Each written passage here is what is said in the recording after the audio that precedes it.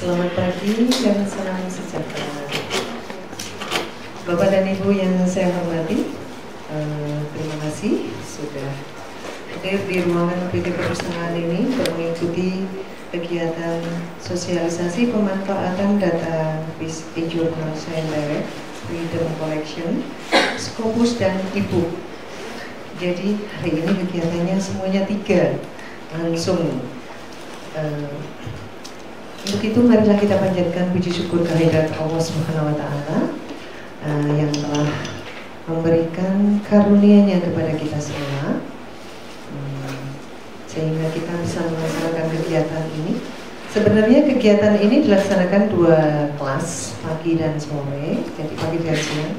Pagi ini memang pesertanya agak sedikit, sudah kami tawarkan, tapi yang mendaftar sedikit, mungkin karena uh, banyak yang berbenturan waktu dengan kuliah uh, atau mungkin untuk dosen juga ngajar ya.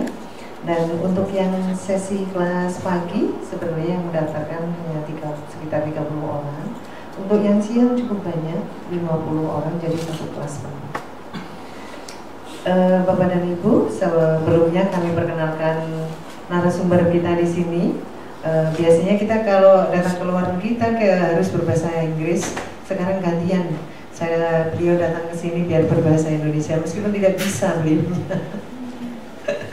Jadi narasumbernya untuk yang pagi hari ini itu ada Ibu Joyce dari Jakarta. Beliau ini adalah Joyce Haryono. Beliau adalah Account Manager Elsevier Indonesia. Jadi beliau ada di sisi saya. Beliau tentunya kalau ini tidak diragukan lagi karena orang Indonesia tetapi bahasa Inggrisnya juga. Uh, bagus. Kemudian yang di sebelah uh, ujung sana itu adalah Pak Adam Go. Uh, Solution Sales Manager Southeast Asia Research Solution Sales El Shafir Singapore. Jadi beliau datang dari Singapura Pak Adam, can you speak Indonesia? No, I can't speak Indonesia. Bisanya iya dan tidak katanya. tapi udah sering datang ke Indonesia sih sebenarnya. Uh, tapi ya nanti kalau misalnya ada sesuatu akan dibantu. Uh, misalnya ada kesulitan di bahasa tetap akan dibantu oleh Bu uh, Joyce karena pagi ini memang sebenarnya materinya dengan berbahasa Indonesia.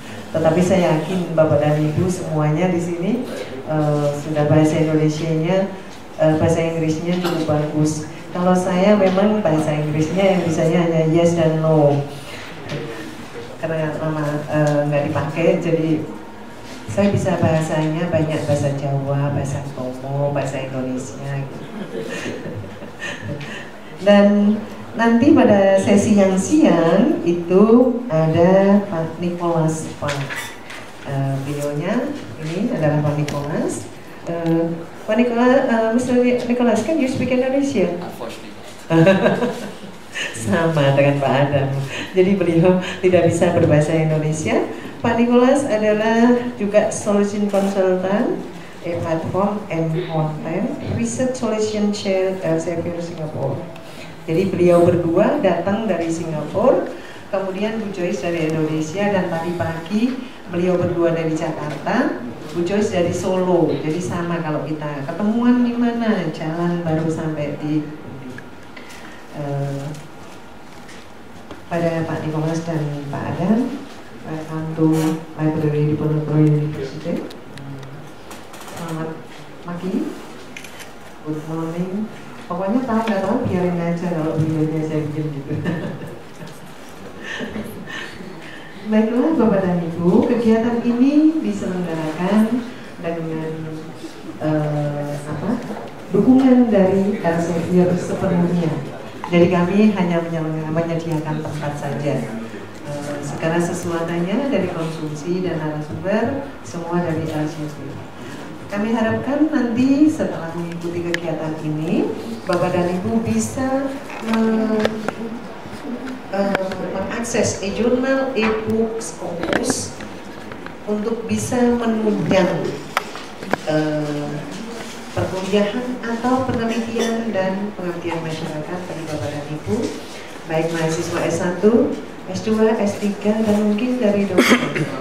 Karena sekarang baik dari dosen pun sekarang angka kredit untuk kenaikan jabatan dan pangkat sudah tidak dilakukan secara manual dengan dikti, tapi sudah diunggah semuanya. Jadi sekarang penilaiannya sudah tidak menggunakan bukti fisik yang dikirim ke Jakarta setumpuk-tumpuk tinggi. Uh, waktu saya di kepegawaian dulu saya selalu bawa dokumen paling tidak empat kardus besar nanti di sana cari orang untuk nganggap gitu. Tapi kalau sekarang sudah di PDF kan semua, tidak boleh JPEG, nanti yang diunggah hanya PDF-PDF saja sudah selesai. Jadi kalau datang ke Jakarta tidak membawa apa-apa enak ya. Saya dulu naiknya kereta, nggak boleh naik pesawat, bawanya kardus gitu banyaknya, pagi-pagi harus cari tempat mandi. Kalau sekarang nggak naik pesawat, bawa tas kecil aja sudah cukup. Tapi mudah-mudahan dengan begitu kenaikan pangkat jabatan semuanya lancar. Baiklah Bapak dan Ibu, eh, selamat mengikuti kegiatan. Eh, mudah-mudahan nanti apa yang disampaikan oleh para narasumber bisa bermanfaat pada kita semua. Dan eh, oh ya. Mr. Ali, can you speak Indonesia? Oh sedikit-sedikit, Alhamdulillah ternyata bisa. Sesuai, sesuai.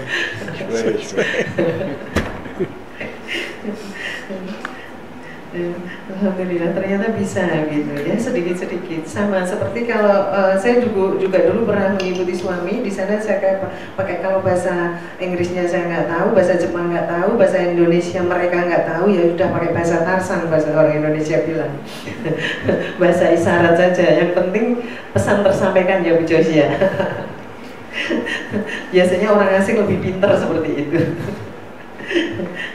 Baiklah uh, untuk tidak memperpanjang waktu segera bisa di uh, apa dimulai kegiatan ini. Bapak dan Ibu uh, bisa menggunakan WiFi tadi uh, dari petugas sudah menginformasikan WiFi-nya apa ya. Uh, mudah-mudahan karena ini sudah di lock di ruangan ini mudah-mudahan tidak apa bisa akses secara uh, lancar. Mudah-mudahan tidak ada kredit dari pusat UPT perpustakaan gitu.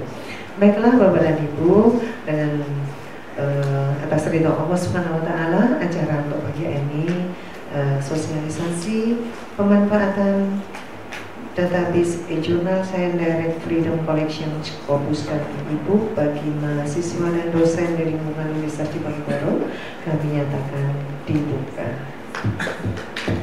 Dan terima kasih kepada dari El Syafir, Bu Joyce, Pak Adam, dan Pak Nikolas uh, mudah-mudahan nanti uh, beliau bisa uh, apa yang ada bisa kita terima. Jadi nanti kalau semuanya misalnya ada kendala dalam bahasa Bu Joyce dia yang mentransfer karena kadang-kadang mungkin uh, apa ya logat dari Indonesia dan orang asing agak berbeda dan tapi yang jelas Bu Joyce menggunakan bahasa Indonesia ya Bu Joyce tapi campur-campur juga ya Bu Joyce kasihan ada Mr. Ali di sini terima kasih dan apabila dalam uh, memfasilitasi kegiatan ini ada yang kurang maksimal kurang sempurna kami mohon maaf yang sebesar-besarnya. Bila kita walidaya. Wassalamualaikum warahmatullahi wabarakatuh. Semua kegiatan sampai nanti jam 12 saya serahkan sepenuhnya pada Bu Joyce dan Pak Adam karena saya mohon maaf eh, jam 9 sebenarnya ada acara rapat di rektor. Ya, terima kasih.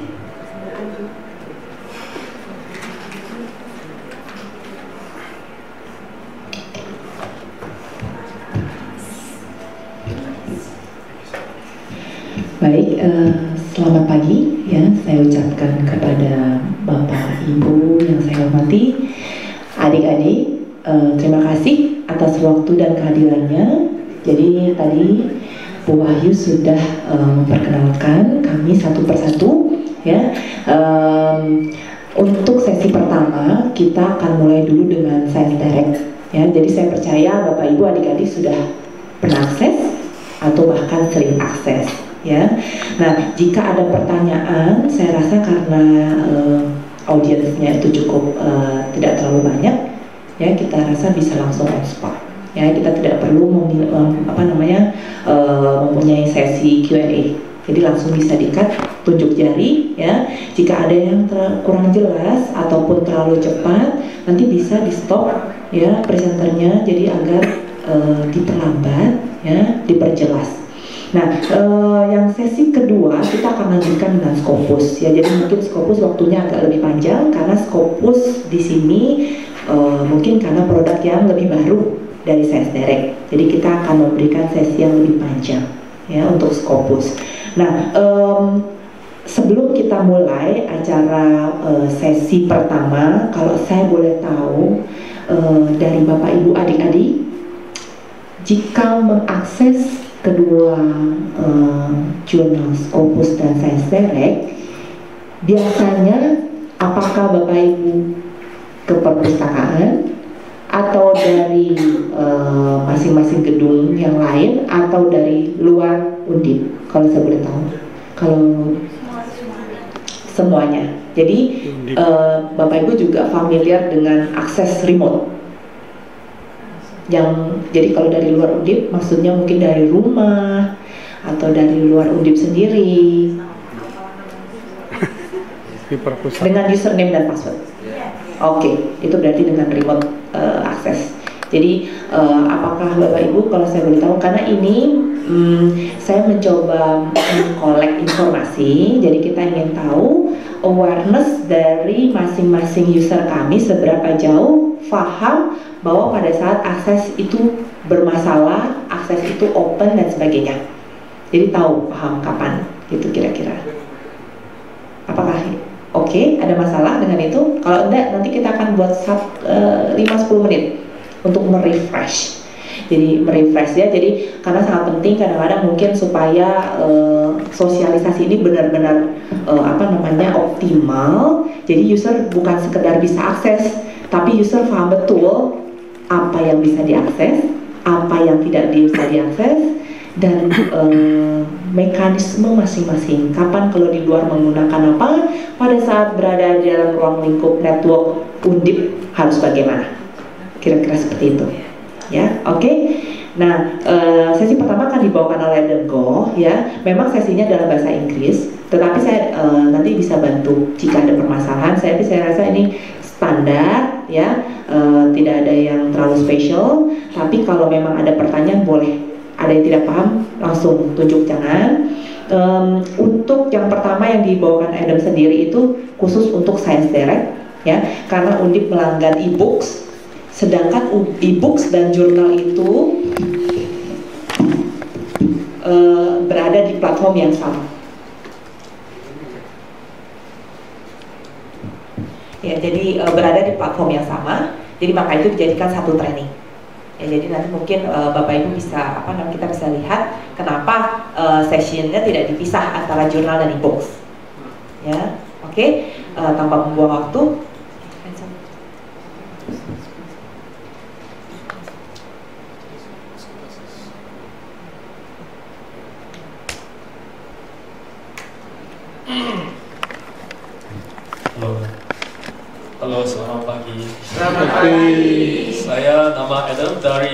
Elsevier Singapore. but I'll be presenting in English today. Uh, I'll speak slowly. If there is any questions, uh, you can just raise your hand. And then you can either ask me in English or Joyce in Bahasa. Uh, the first part will just be a general overview. Later on, we will be doing a step-by-step -step platform introduction. So if you are connected to the school Wi-Fi, you can uh, run along with me. Okay? Okay, so uh, we are from Elsevier. Okay, many of you may not have heard of Elsevier, but you have used Science Direct, Scopus. So these are our two core platform products owned by Elsevier. Right. So we have been around for more than 100 years initially when we first started, I mean, we are still a publisher in uh, science, technology, and medical. But along the way, we have gradually evolved into an information provider. And we have numerous products available in the market today, most of which you'll be familiar with Science Direct and Scopus. The other more specific solutions include Reaxys for chemical, uh, for, for chemistry, right? Engineering Village and Cyber. Right? So today, we'll be touching only on Science Direct and Scopus. Just for your information, uh, Undip is currently subscribed to the Freedom Collection journals for Science Direct. That will cover, I think, about 95% of the journal content, as well as uh, ebooks on the same platform to complement the journals, right? Okay, so why we moved from a traditional publisher to an information provider today? So like everyone sitting over here today, the classroom has changed greatly.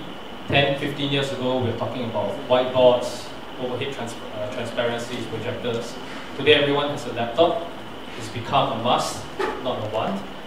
And so we have progressed to bring our information and content to the cloud and deliver it to suit today's needs. Okay. So the market has changed drastically. A lot of information that was on print today is now on e right? With the rise of Kindle, we have seen books migrate from print to e, and for journals, the migration even started earlier from year 2000 onwards. Okay. So this has also allowed users to increasingly access information, and with more reading, more downloads, people are able to contribute more, write more, and with greater output, right, you can see an increase in productivity and research funding as well. So today, who uses Google over here when they want to find, for, find information? Anyone? Google, right? Most of the time, immediately. Okay, so you also need to, you also will be glad to know that we have spent a lot of effort indexing our content on search engines such as Google Scholar, uh, uh, Ex Libris, for example, so if you're comfortable with using a platform such as Google Scholar, more than likely when you search for particular areas in research, you'll be directed to the article publication in Science Direct. So if you have full text access to the content, basically we will link you through the search engine back onto Science Direct platform. But of course, if you start off from using Science Direct itself, you can take advantage of the search engine, the, the numerous other features that you're not able to access on Google Scholar so basically that allows you today to access all this information out there in the web in a blink of an eye as compared to going to the library in the past and flipping through all the serials and the reference titles. Right. So Science Direct aims to achieve what your Google and Yahoo Bing search engine does on a regular basis on the World Wide Web. We are the equivalent in the STM and academic world. So we bring together researchers such as yourself, with your assets and laboratory, scholarly communication together all on Science Direct and Scopus. So almost 15 years ago, we started Science Direct. Today, 90% of our content is promulgated on e and not print. And about, I'll say about 10 years ago, we started to seriously move our content on print books to e as well. So a lot of the print book imprints you might see, for example, uh, Academic Press, Butterworth Heinemann, some of them you may, may or may not have heard before are actually all owned by Elsevier.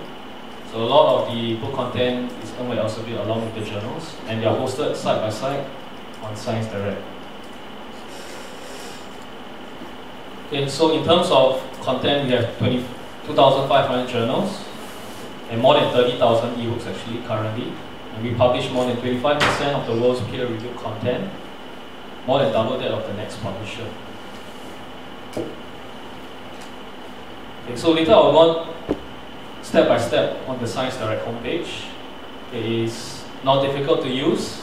It's actually a lot of effort has been spent to, spent to make it easy and intuitive for users such as yourself.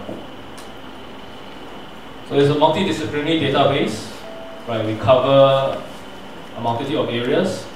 with a strong focus on physical and life sciences and health sciences. So why do customers subscribe to Science Direct, right? Primarily because we host the most number of number one impact factor journal, journals among all the publishers, or they double that on the next publisher. and when you do research on cereals, I'm sure all of you will know that in addition to looking out for original research content, you also need to go back to fundamentals. And if you're doing cross-disciplinary research, you need to have access to content, uh, fundamental content or comprehensive in other areas. So this is where ebooks come to play. When you do a general search, we will also pull out content from book chapters, help you on your research, whatever that may be. Okay, so I'll go in straight to the demo. Any questions so far on what you're accessing? Nothing, right? Quite straightforward. Okay, so straight to it.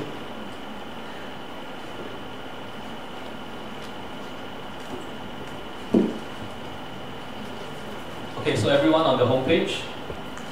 Yes. Okay, so one of the first things uh, to start off with, we encourage every one of you to sign up for a Elsevier account. This is not compulsory, but it's recommended. So you see over here, I'm signed in as Adam Go. So what happens is that when you are signed in, you can manage your alerts, your settings, and your search history as well. So no matter where you may go, you can bring this content with you. So if, for example, you have highlighted an alert for a certain subject area, such as certain journal, journal, right? So wherever you may go, these alerts will be sent to your account and to your email address. So that will make it very useful, especially if you're personalizing your research, right? However, signing in does not mean you have access to full text data. That will depend on where you are accessing it from. So if you're accessing from within the Undip campus, whether you have a personal account or not, it doesn't matter. You will still be able to download all.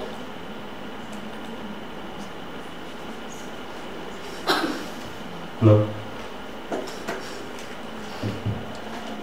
Hello. Yeah, as I was saying, whether you are signed in or not as a personal user, as long as you're within the Undip IP address range, you will still be able to download your content.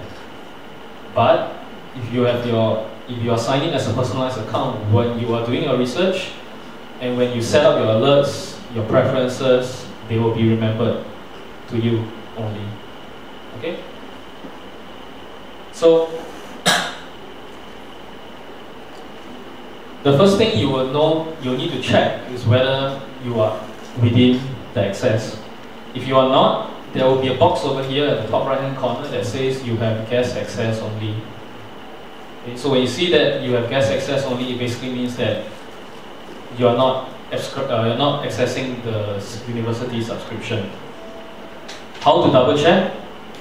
Okay, scroll all the way to the bottom. You'll see over here contact and support. Click on it.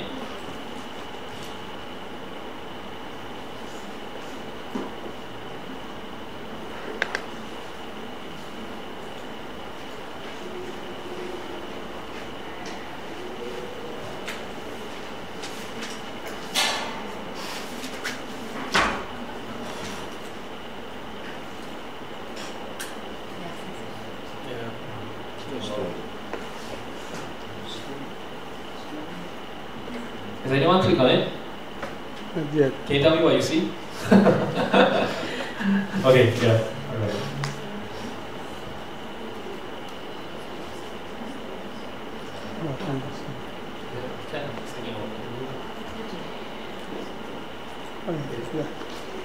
Okay, so for those of you that have clicked on it, you will be at a page where it shows your account, your name, where you're accessing it from, as well as your IP address. Yeah, let's just-